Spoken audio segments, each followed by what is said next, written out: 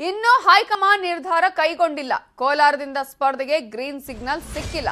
ನನ್ನ ಹೆಸರು ಇನ್ನೂ ಕ್ಲಿಯರ್ ಮಾಡಿಲ್ಲ. ಇದು ಸಿದ್ದರಾಮಯ್ಯ ಅವರು ಹೇಳಿರುವಂತಹ ಮಾತು. ಸ್ಪರ್ಧೆಯ ನಿರ್ಧಾರವನ್ನು ನಾನು ಹೈಕಮಾಂಡ್ಗೆ ಬಿಟ್ಟಿದ್ದೇನೆ. ಹೈಕಮಾಂಡ್ ಏನ್ ಹೇಳುತ್ತೆ ಅದನ್ನ ನಾನು ಕೇಳ್ತೇನೆ ಅಂತ ಹೇಳಿದ್ದಾರೆ ವಿಪಕ್ಷ ನಾಯಕರಾಗಿರುವ ಸಿದ್ದರಾಮಯ್ಯ ಅವರು. ಕೋಲಾರ ಸ್ಪರ್ಧೆಯ ಬಗ್ಗೆ ದೆಹಲಿಯಲ್ಲಿ ಸಿದ್ದರಾಮಯ್ಯ ಪ್ರತಿಕ್ರಿಯೆಯನ್ನ ಕೊಟ್ಟಿದ್ದು, ನಿನ್ನೆ ಸ್ಕ್ರೀನಿಂಗ್ ಕಮಿಟಿಯ ಸಭೆ ನಡೆದಿದೆ. ಅದರಲ್ಲಿ ಆಲ್ಮೋಸ್ಟ್ ನೂರ ಇಪ್ಪತ್ತೈದು ಕ್ಷೇತ್ರಗಳಿಗೆ ಸಂಬಂಧಪಟ್ಟ ಹಾಗೆ ಯಾರು ಅಭ್ಯರ್ಥಿಗಳು ಅನ್ನುವಂತಹ ಫೈನಲ್ ಅನ್ನು ಮಾಡಲಾಗಿದೆ. ಆಗಲ್ಲ ಅಲ್ಲಿ ಕಟ್ ಹಾಕ್ಬಿಟ್ರೆ ಪಕ್ಷ ಗೆಲ್ಸೋದು.